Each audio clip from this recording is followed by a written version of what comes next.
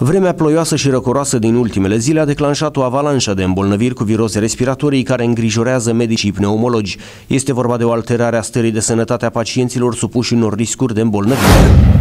Suntem în plin sezon de viroze respiratorii. Este a doua jumătate a lunii octombrie, când uh, virusii își fac apariția.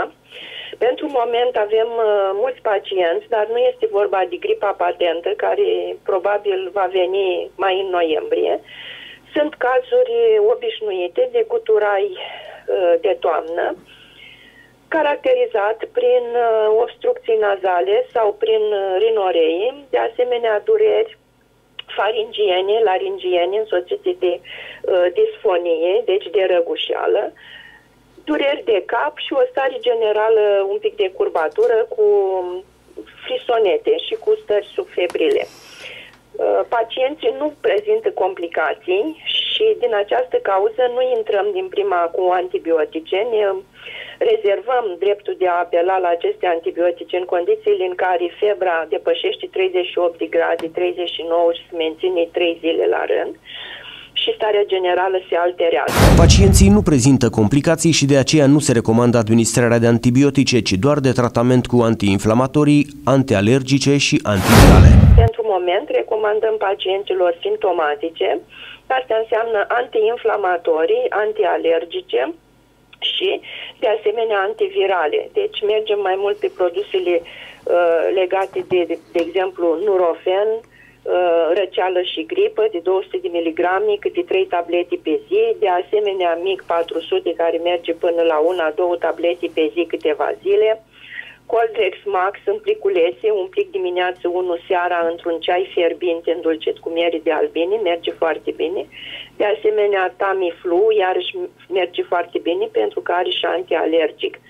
Ca antialergice avem nevoie de antialergice și ne referim la cele care nu produc somnolență, tip uh, loratadină sau uh, aerius, care merg foarte bine. Se impune și consumul de lichide necesare hidratării organismului, o alimentație bogată în legume și fructe, precum și administrarea de medicamente care să întărească imunitatea organismului. De asemenea, să nu uităm consumul de lichide, obligator 2 litri pe zi, pentru că aceste virusuri au un talent deosebit al lor de a strica starea generală a organismului prin toxinele pe care le elimină și atunci noi trebuie să eliminăm aceste toxine printr-un uh, consum de lichide și o uh, reactivare mai mare a aparatului uh, urinar. De asemenea, ca și mâncare, ne axăm mai mult pe mâncărurile ușoare, fără foarte multă carne, mergem mai mult pe fructe și legume și medicația, să spunem, supe, ciorbe, mai puțin o medicație mai greoaie, care antrenează circulația la nivel gastric și nu avem nevoie de acest fapt, ci noi menținem circulația pentru a apăra organismul. Sunt de asemenea necesare produse care ridică imunitatea. Ne referim la vitamina C foarte mult, calciu cu D3 pentru ridicarea imunității. În această perioadă este necesar ca pacienții cu risc de îmbolnăvire să se imunizeze prin administrarea vaccinului antigripal. Am avut situații în care aceste afecțiuni au trecut foarte repede, pacienții chiar neîntorcându-se când au fost solicitați pentru control, pentru că nu a mai fost nevoie.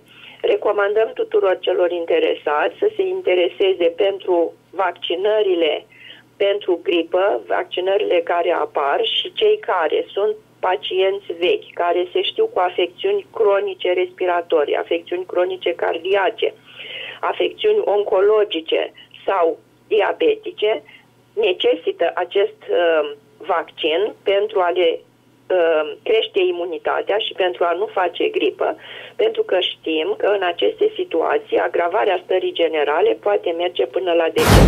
O mare atenție trebuie acordată în această perioadă și modului în care ne îmbrăcăm. Uh, îmbrăcămintea să fie cât mai ușoară, chiar dacă este rece afară, să avem mai multe straturi. Deci să nu uităm utilizarea maieului, care este absolut obligatorie, peste maieu o bluziță și o, un plover. Deci nu intrăm cu pielea direct în plover, pentru că maieu are rolul de a opri aerul cald emanat de corp și acest aer pe care, care este reținut face ca să avem căldură. De asemenea, nu trecem direct la haine groase în moment, palton, căciulă de blană, fulare și că nu este cazul, dar nici nu mai umblăm la nivel de sacou. Este bine să avem o geacă pe deasupra cu glugă pentru a ne feri și de ploile care vin. Medicii atrag atenția și asupra igienei personale, care impune folosirea de batiste de unică folosință, apă și săpun, dar și despre necesitatea evitării aglomerațiilor care conduc la răspândirea virusilor.